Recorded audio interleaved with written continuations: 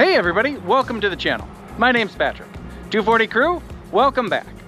Today I'd like to take a minute and introduce you to my other 1990 silver Volvo 240DL. This one is affectionately known as the Ron car. Ah, it's known as the Ron car because this car is the car that my Uncle Ron purchased in 1990, brand new. This is the one that if, for those of you that have read the About section on our channel homepage, uh, this is the one that's been in my life since I was eight. It's had a whole bunch of things done to it over the years, and plenty of projects that still aren't done. Uh, so today, I'm just going to do a little walk around and then over the coming weeks and months, as we finish up some of the projects on it, we'll get to know the history of the Ron car and a little bit more about me, probably along with that. Ah, so let's take a look. Okay, 1990 car with a 92, 93 dash with no speaker grill in the top. Uh, I painted it gray to match the seats about a million years ago. Uh, it's holding up really good though, I gotta say. We have a gauge cluster with our uh, fuel economy gauge, our oil pressure gauge, and our volts, along with the smaller 52 millimeter clock and oil temperature, along with the large tachometer.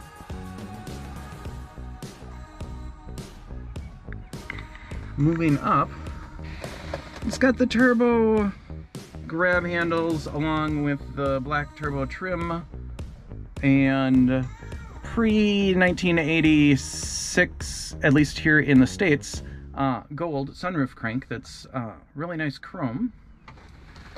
Sunroof still works good. Doesn't leak or anything. These older uh, metal chrome gold uh, handles work a lot better than the later plastic ones.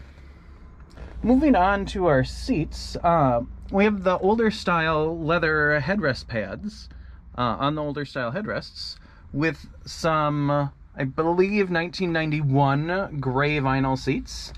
Uh, that are awesome. I am still looking for a rear seat. If anybody watching this happens to have one, shout out. Uh, gray vinyl for a sedan. It's kind of hard to find.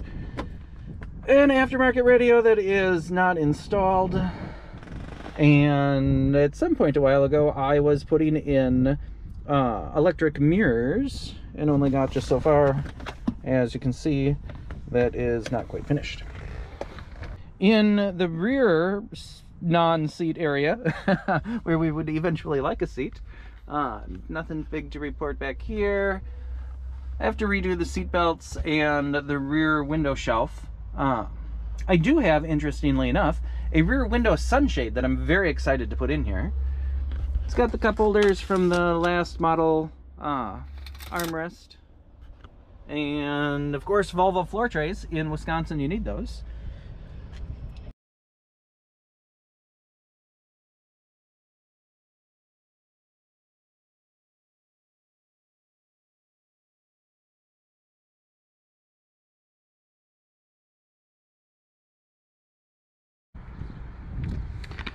This is where I tried to put on a carbon fiber vinyl wrap.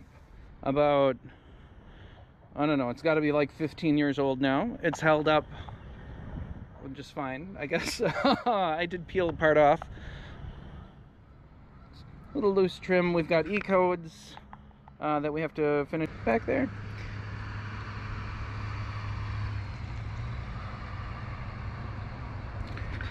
We have some work to do in the engine bay. Uh, there's been a bunch of things done over the years.